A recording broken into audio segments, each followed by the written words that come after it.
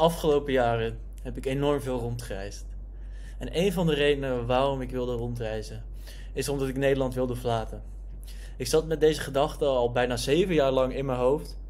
En het is eindelijk gebeurd dat ik volledig Nederland heb verlaten. Ik ga je vandaag precies vertellen waarom ik Europa heb verlaten, waar ik nu woon, waar ik ga wonen komende jaren en hoe dit mij helpt in mijn ontwikkeling als online ondernemer, maar ook als persoon. Nou, ik wilde eigenlijk al jarenlang weg uit Nederland. En een van de redenen is ook gewoon de mensen, de maatschappij, het weer, belastingen, alles hoe het geregeld is en de levenskwaliteit in Nederland. Dat irriteerde mij zo op een gegeven manier dat ik zo graag weg wilde dat ik dus startte met mijn eigen online business. Omdat ik het leven in Nederland compleet haatte en verafschuwde. En dat kwam dus door middel van de maatschappij. Niet alleen dat het elke dag regent, want hier in Bali is bijvoorbeeld nu ook regenseizoen. En is er gewoon een compleet andere vibe van mensen. Ik heb een beetje het idee dat door sociale media en door de normale media in Nederland, dat het patroon een beetje verpest wordt. Het wordt steeds moeilijker voor mensen om rond te komen. Mensen verdienen steeds minder, inflatie wordt steeds hoger, het weer wordt steeds extremer. Komen steeds meer regels en steeds minder vrijheid in Nederland. En dat zagen we ook al tijdens corona. Wat ongelooflijk raar was wat er toen die tijd allemaal gebeurde. Sportscholen gingen dicht, terwijl als je naar de sportschool gaat, je juist gezonder wordt. Er werd steeds lastiger om ergens eten te bestellen, gezond eten te kunnen bestellen ook. Dus dat zijn allemaal dingen waardoor ik dacht van nee, dit wil ik niet. Verplichte vaccinatie, verplicht binnenblijven van lockdown. Het lijkt wel alsof mensen het al lang vergeten zijn, maar het is helemaal nog niet zo lang geleden dat dit de echte realiteit was. Nou, hoe ben ik dus begonnen met rondreizen? Ik begon met mijn eerste reis naar Marbella en die ging met een oude universitaire vriend ging daarheen. En daar startte voor mij eigenlijk het hele rondreizen, digital nomad lifestyle. Ik had mijn eerste winstgevende product, een postuurcorrector, misschien ken je het verhaal wel. En dat begon aan te slaan. Ik maakte wat online examens in Marbella, maar ik zag ook de andere kant van het leven. Ik zag dure auto's, dure horloges, mensen met veel geld. En wat ik ook zag, is dat deze mensen niet slimmer waren dan dat ik ben. Het waren ook compleet normale mensen en je begon een andere denkwijze te hebben. Doordat ik dus in deze rijkere omgeving was, ging ik op een andere manier denken. Ook op dezelfde manier als ik hier in Bali zit, dat ik op een andere denkwijze had. En ook dat ik in Dubai op een andere manier naar het leven kijk. En ook dat ik in Istanbul op een andere manier naar het leven kijk. Het is enorm belangrijk om rond te reizen en op verschillende plekken jezelf te bevinden. Daarom is je omgeving extreem belangrijk. En dat is ook voor mij de reden waarom ik nu bijvoorbeeld drie maanden in Bali verblijf. Dit jaar naar Zuid-Amerika ga, Portugal, Thailand misschien ook wel. En eigenlijk gewoon verschillende inzichten krijg. Want geld verdienen is super leuk en online ondernemen is voor mij helemaal een ding. En ik stop hier ook echt 60, 70 uur per week in. Niet alleen het maken van content, maar het runnen van mijn eigen e-commerce business en mijn coaching business.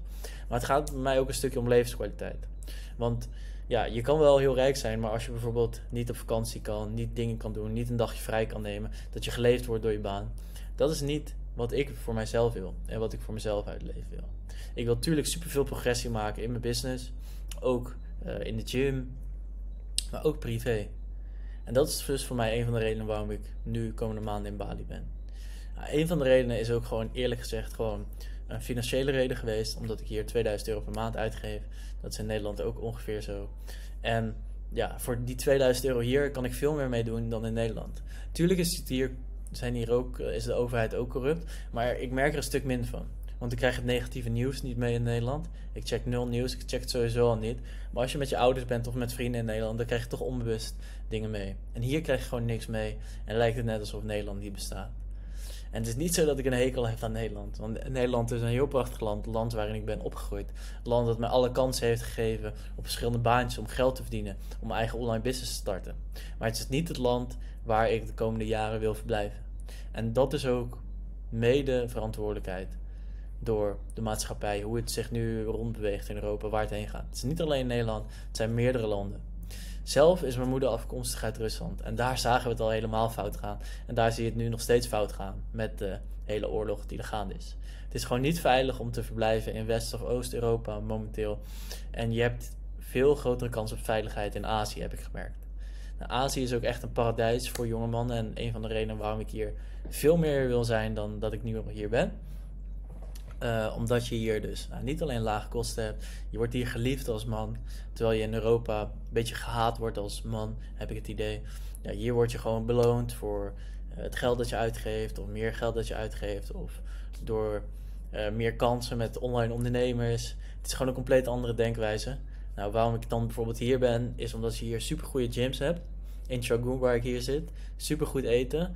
Uh, dat is voor mij ook heel belangrijk om fit te blijven. Dus super goed eten, super goede gyms.